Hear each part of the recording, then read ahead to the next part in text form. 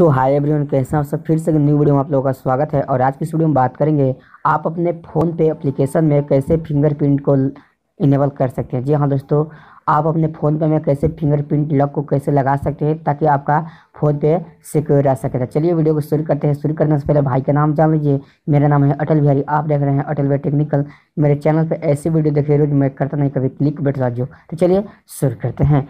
और अभी तक मेरे चैनल को सब्सक्राइब नहीं किए हो तो प्लीज़ सब्सक्राइब कर देना और घंटी भी दबा दबा देना ताकि लेटेस्ट वीडियो आपको मिलती रहे। तो चलिए शुरू करते हैं। तो सबसे पहले क्या करता हूँ दोस्तों, मैं अपने फ़ोन पे में जाता हूँ। जैसे कि मेरा ये फ़ोन पे है और फ़ोन पे मेरा ये ओपन हो गया है। और जैसे फ़ोन पे ओपन होने के बाद आपको क्या करना है सिंपली से, देखिए मेरा ये फिंगरप्रिंट आ गया, मांग रहा है। मैं अपना फिंगरप्रिंट यहाँ पर डाल देता हूँ।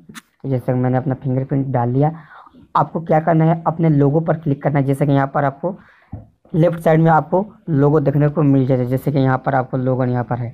यहाँ पर आपको लोगो दिखाई दे रहा है, ठीक है? तो आपको इस पर क्लिक करना है। जैसे मैं इस पर क्लिक कर दिया। क्लिक करने के बाद आपको सिंपली से नीचे में आना है।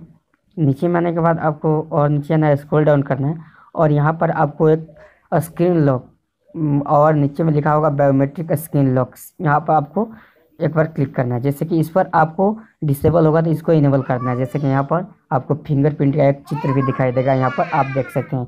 इसको क्या करना है? आपका ये डिसेबल होगा तो आपको यहाँ पर इनेबल करना है। जैसे मैं यहाँ पर करके रखा हूँ। आपको इनेबल करने के बाद आपका फिंगरप्रिंट यहाँ पर जब भी आप खोलेंगे तो आपका फ़ोन पे में ये फिंगरप्रिंट मांगने लगेगा। तो दोस्तों, ऐसे करके आप अपने फ़ोन पे में फिंगरप्रिंट लॉक को लगा सकते हैं। तो चलिए, इस वीडियो में कुछ समझ में आया होगा। तो प्लीज़ एक लाइक कर